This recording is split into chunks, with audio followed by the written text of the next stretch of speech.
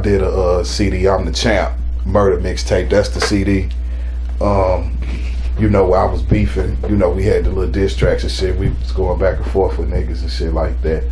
I dropped that one in like, I guess that was 2010 or some shit like that. 2009. I don't recall you had a couple big features on that uh on that mixtape, uh, didn't you?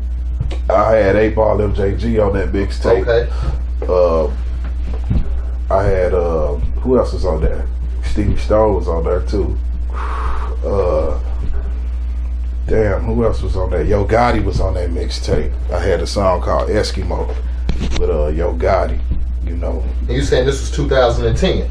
yeah, it's like 2010.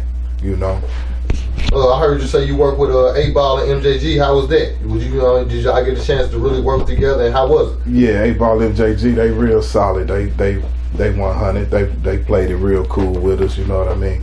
They still stay in touch. You know, I can hit them up anytime. You know what I mean? And uh, shout out to their manager Duke because he he did a lot for for me in the background and, and for the homeboys.